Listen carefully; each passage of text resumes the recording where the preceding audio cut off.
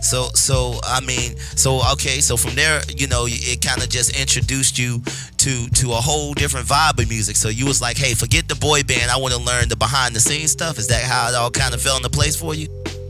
Well, I was always a behind the scenes thing. Even when I was in my group, I was like I said the the slash Teddy Riley. I was always behind the scenes. I liked what I did, but I always liked people to be in front of me. But when I got with Sudden Impact, um, we just started developing new sounds together. But I was still always in the background because I looked at. I was put it this way. I grew up listening to like Quincy Jones work and people who were always behind the scenes. Right. You know, so that stuff intrigued me because it was all about the artist that told the story of whatever song we created.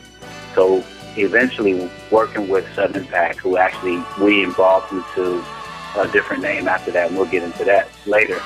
I just started learning how to develop songs even better to where I can create what I used to listen to growing up. Okay, okay.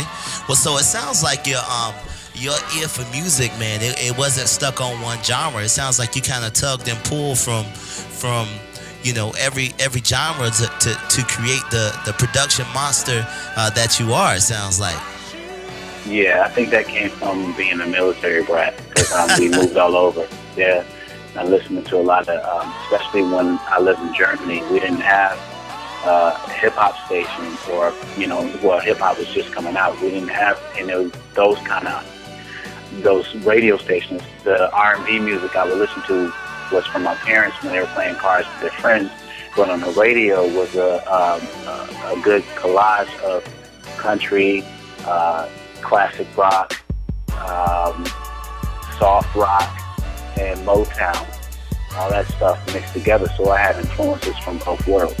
Yeah, that's that AFN radio. Shout out to all our soldiers, sailors, marines, everybody overseas. Hey, wait, hold on, hold on, hold on. What you doing about ATF?